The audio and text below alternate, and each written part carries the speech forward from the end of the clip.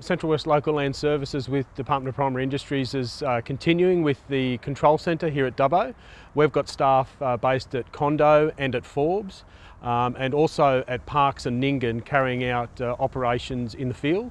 Uh, and they include aerial operations, so we're um, assisting landholders with locating stock, uh, with surveillance, surveillance activities, and also assisting landholders uh, with fodder to stock where they're unable to get uh, uh, livestock moved. Um, we're assisting with getting fodder into those stock to, to help them out during that emergency period. We want landholders to um, contact us and report their damage um, through uh, the 1300 number.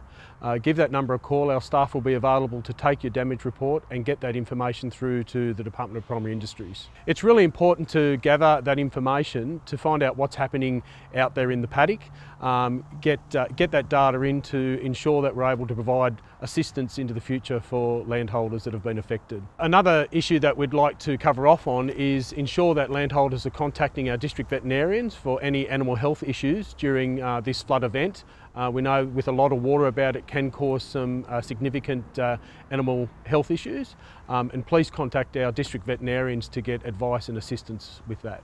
So any region outside of the Central West District, if you are experiencing uh, impact by flooding, please still contact the 1300 number uh, and report that, uh, that damage or re report that um, request for assistance and local land services will be able to uh, support landholders.